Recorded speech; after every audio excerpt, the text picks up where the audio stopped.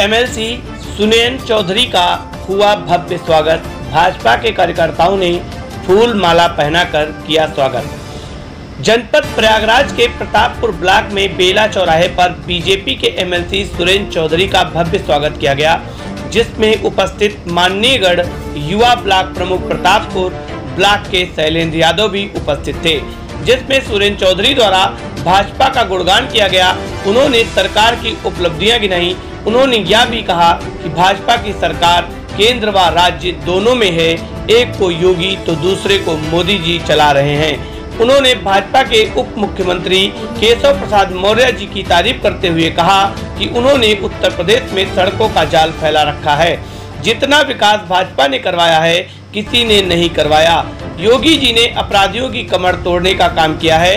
अपराध को कम करने के लिए अपराधियों को घरों की कुर्की व बुलडोजर तक चलवाए हैं। सुरेंद्र चौधरी से वार्ता करने पर उन्होंने अपने संगठन को लगातार सक्रिय रहने की बात कही और यह भी बताया कि हमारी बूथ की कमेटी गांव-गांव तक बनी है। जब भी चुनाव होगा, हमारे कार्यकर्ता वोट भाजपा के पक्ष में डालने का कार्य करेंगे। इस कार्यक्रम में सैकड़ों कार्यकर्ताओं ने भाग लिया, जिसमें युवा मोर्चा के मंडल अध्यक्ष राजा मौर्य, बीजेपी के कुछ युवा नेता अंशु खन्ना, शुभम शुक्ला, ग्राम प्रधान राजू दुबे, प्रधान पति रामलाल पाल, बीजेपी के अन्य कार्यकर्ता भी उपस्थित रहे। आर्य चेतना न्यूज़ से राजेश शुक्ला के साथ आदर्श तिवारी की रिपोर्ट।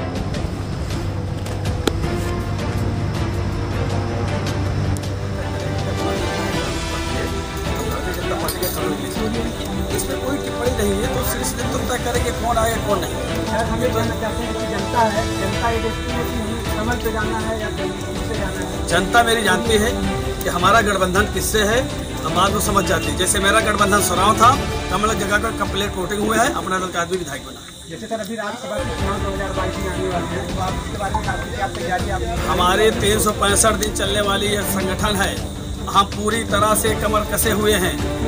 ये जो डबल इंजन की हमारी सरकार है, छोटा भाई, बड़ा भाई, केंद्र में भारतीय जनता पार्टी सरकार हो, प्रदेश में है, यह आम जनमानस यह तय करेगी कि उत्तर प्रदेश के विकास किसके हाथ में दे और किसके हाथ में सरकार के बाग डूब दे आपने देखा होगा, चाहे भ्रष्टाचार के आरोप रहा हो, एक भी कोई अधिकारी भ्रष्टाचार आरोपी आपको नहीं मिलेगा, एक भी अपराधी आपको नहीं मिलेगा। अगर अपराधी मिला भी तो योगी जी जिस तरीके से हमारे कहते हैं एक माला है एक हाथ में बाला भाला है तो आपने देखा होगा उनके घर पे बुलडोजर भी चलाने का काम किया गया है। और आदली हमारे यहाँ डिप्टी सब केशव प्रसाद मौर्य जी ने जिस तरीके से सड़कों के जाल बिछा के एक इतिहास कायम कर दिया है, पूरी तरीके से फ्लाई ओवर पुल, पुलिया, यानी किसी के पास ये शब्द नहीं कि मुझे सड़क चाहिए। इतना विकास किसी कभी सरकार में नहीं हुआ। अब विकास के मुद्दे जो हमारे गरीब है, जो आदि प्रधानमंत्री हम सपना देखा करते थे, जब उनकी माता खाना बनाती थी, धुआँ निकलता था, गैस चूल्हा फ्री, आवाज़ फ्री आपका शौचालय फ्री। प्रधानमंत्री आवास फ्री। आपका पाँच पाँच लाख का स्वास्थ्य बीमा, कृषक बीमा। तमाम ऐसी चीज़ें हैं जो कि आप कल्पना नहीं कर पाओगे कितना हमने विकास किया।